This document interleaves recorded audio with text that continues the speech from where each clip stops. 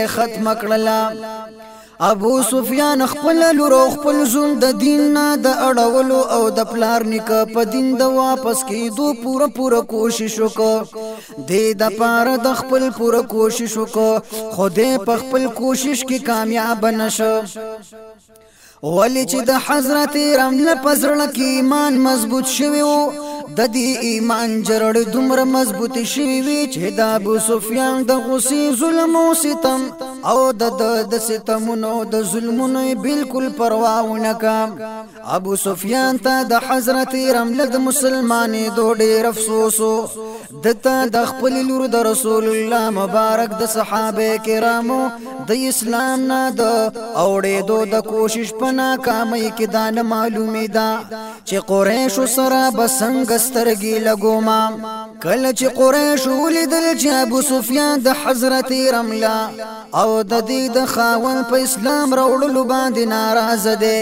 نو د دوی دوانو د پار یو ځای شول چې دوی ته سخت سزاګانې ورکو او د دوی د ژوند شپې ورځې لنډې کو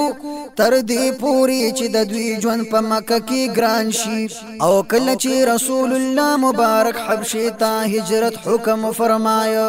نو حضرت رمله د دې خاون عبید الله بن جحش او وړ لور حبیبه د مهاجرینو په دې قافله کې وړاندې وړاندې وام چې د خپل دین او ایمان د حفاظت د پاره د حضرت نجاشی رحم الله پناګات لاړل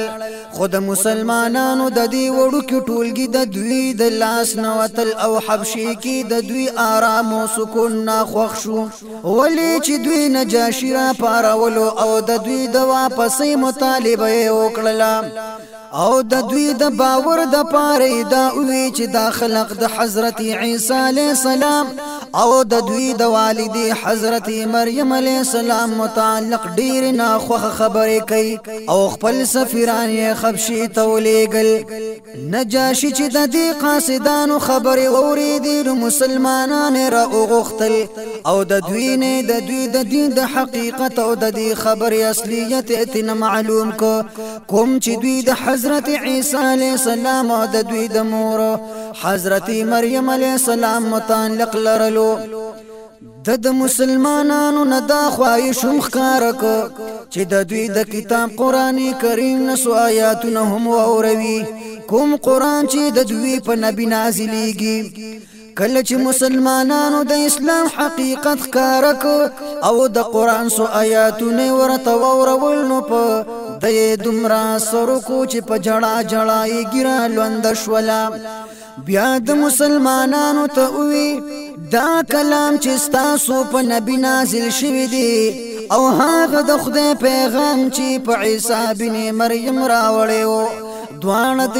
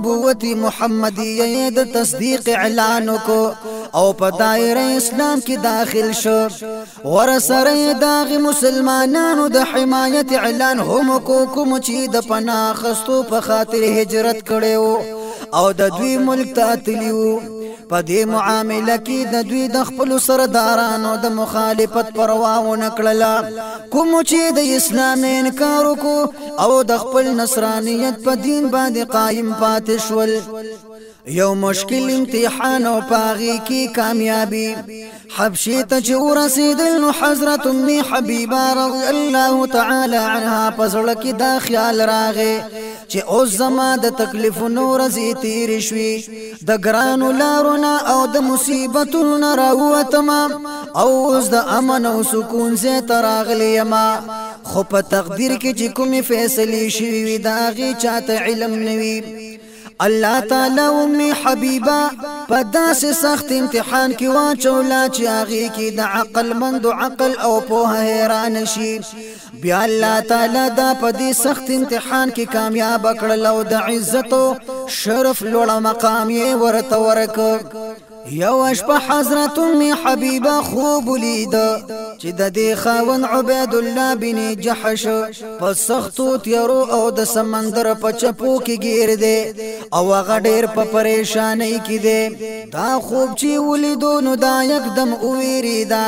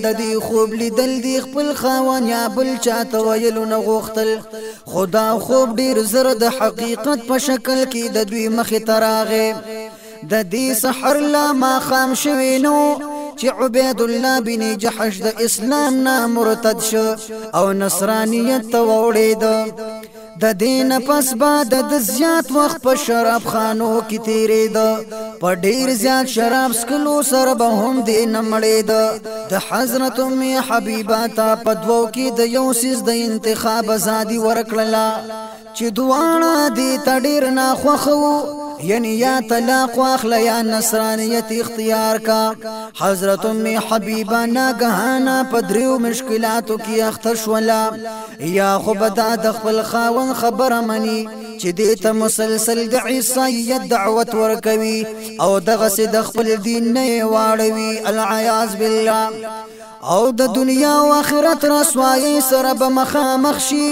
دا یو داسې کارو چې دی په هیڅ صورت کې نه قبلو خواک د دې د بدن غوخي د اوسپنې په قینچو سره د دې د بدن نبی لیکي دویم صورت دا چې دا واپس د پلارو کور مکی مکرمه ته واپس لاړ شي او هلته دا په داسې ژوند تیرولو باندې مجبوروي چې په خپل دین ورته د عمل کولو نه منع کولې شي ولی چې لا تر اوسه په مکه مکرمه کې کفر او شرک او دریم صورت دا چې دا یوازې بي یارو مددگار د حبشي پس مکه باندې سار شي دوی د الله رضا مخ ته کې خدا او دریم او اخر شکل اختیار ک او الله تعالی نه دا سانی او فراخی پتم باندې په حبش کې د ساری دو فیصله وکړه حضرت ام حبیبه چې د الله تعالی نه د کوم فراحی توقع لرله اغه تا د دې ډیر زیات انتظار پرې نه وته ولې چې دا د خاوند د عدت د وفات نه فارغ شولانو بالکل غیر متوقع تور دوی ته د خوشحالي زیره راغې لا تر اوسه عدت نو پوره شوه چې د حضرت ام حبیبه رضی الله تعالی عنها ورځي واپس شوي تنگسیای په فراخی کې بدل شو او خوشحالی خپل وزری د دوی په مظلوم کور باندې خورې کړلې یو ورځ د ساخ په وخت کې چې کله ورځ خورو خان شو د دوی په دروازه باندې आवाज وشو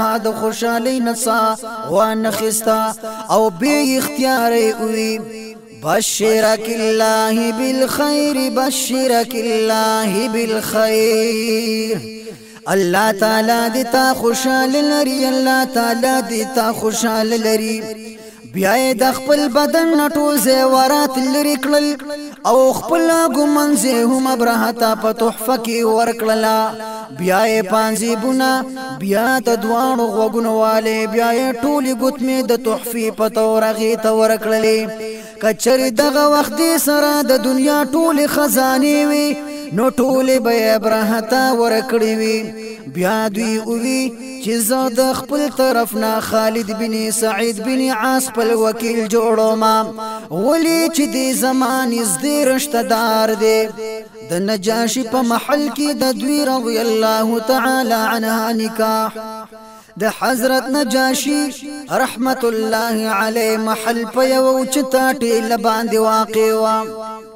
د دین لاندې د حبشي د ټولو نخکلې باغ د دی حسن نورم زیات کړي او د دې محل په یو لوی حال کې چې ډیر په نقش او نگار سره خیسته شوی او د پیتلو په چراغونو باندې روخان شوی او چې پاغي کې خپل او مزیدار قالین غړیدلی وو په حبشه کې مقیم صحابه کرام حضرت جعفر بن ابي طالب حضرت خالد بن سعید بن عاص او حضرت عبد الله بن حذافه صحابي وغيرها د رسول الله مبارک د پاره منقد شوی د حضرت ام حبیبه بنت ابي سفیان په دې نکاح کې جمع شویو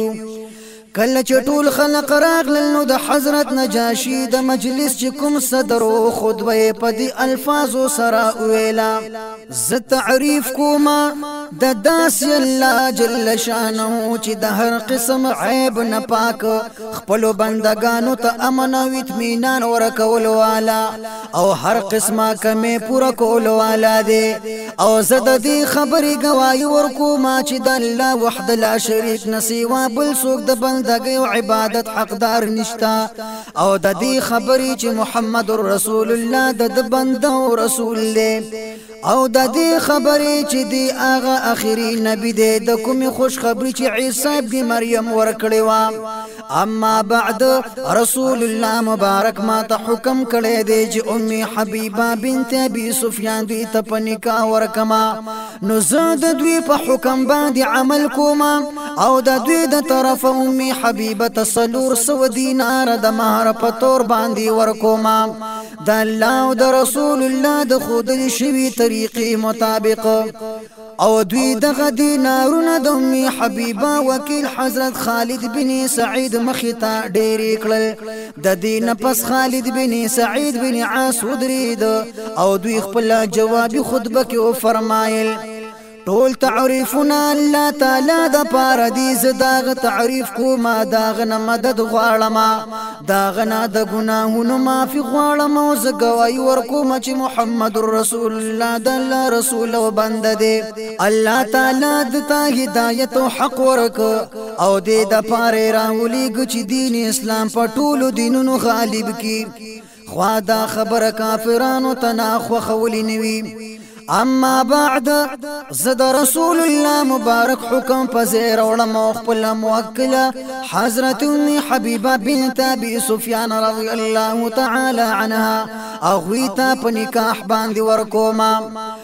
الله تعالی دې دوی ته په دې بیبي کې برکت واچوي او می حبیبه ته دې هغه خیر او برکت مبارک وي چې الله تعالی د دې په مقدر کې لیکلی وو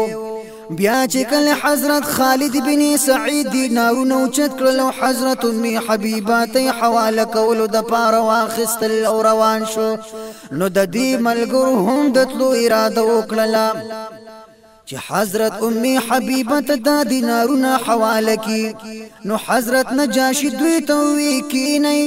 ولی چې د انبیا او سنت دی چې کله غوی نکاح کوي نو په خلق باندې خوراک کوي